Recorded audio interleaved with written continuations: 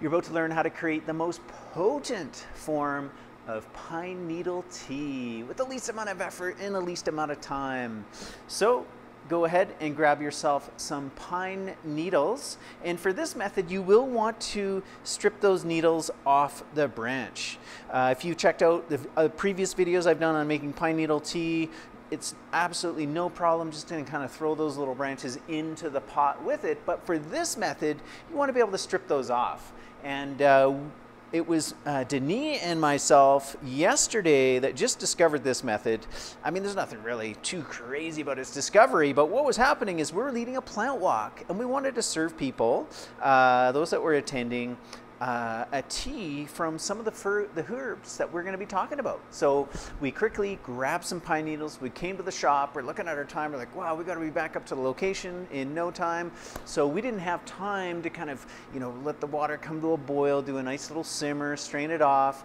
And so Denis got this idea of throwing it into the blender, and wow, the result created this absolutely most vibrant, potent, yet delicious pine needle tea. So that's exactly what we're going to learn here today. So I've got a kettle that has just been brought to a boil. Taken that off, I have stripped the pine needles off their branches. Uh, and I gathered a, a, number of different pine trees. There's a park near my house where they have ponderosa and white pine and mugo pine and lodgepole pine. I just grabbed a little bit of each of those. All those pine needles can be used interchangeably. They've all got the same properties and there are no toxic pines. So depending on how much volume you're gonna make will determine how much you wanna throw in there, how potent you want it. Uh, I've got a nice good handful, uh, condenses right down, and I'm gonna do a little bit more than a liter. So first things first is we get a blender and we're gonna toss that in. We're gonna pour the hot water on top already you can see the pine needles reacting to the hot water. They're going that vibrant green color. We're gonna throw this on quick and give it a nice good blend.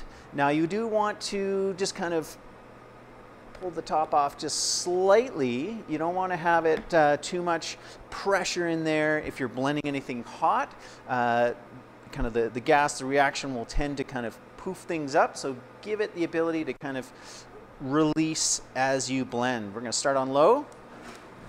Yeah, so you could see some just kind of immediately spurted up there.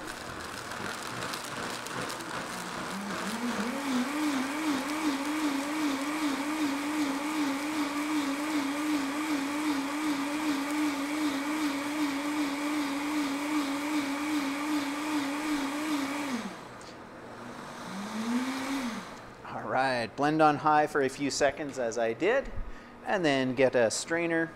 Any kind of strainer will do. A nice fine mesh.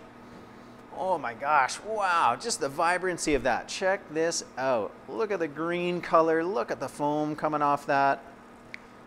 This is unbelievable. Yeah, look at that. Have you ever seen a pine needle tea that vibrant green? And boy, wait till you taste it as well. Absolutely incredible.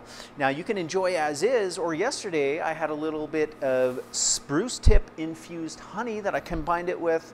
So it was a truly wonderfully delicious uh, conifer drink with pine and spruce of which spruce actually also itself has a high amount of shikimate acid, which is one of the kind of compounds that a lot of us are after when we're drinking pine needle tea that gives it its antiviral properties and helps inhibit uh, respiratory viruses.